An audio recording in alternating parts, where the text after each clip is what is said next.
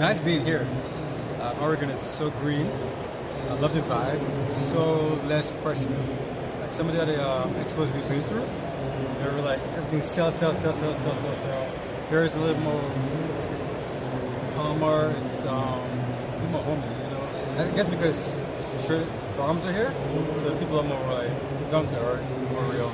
So I like it. There's a little bit more of an educational vibe here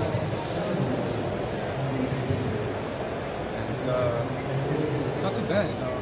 I don't know the not food traffic. That's what I'm wondering, but it's too early. And uh, I love it. So variety, like there's farm equipment, there's testing, and when you go to other um, convention, you don't have that. Like, it's not right here. So This cool. thing's so big, you know, and this is where from the source, you know, and so very nice. I love it.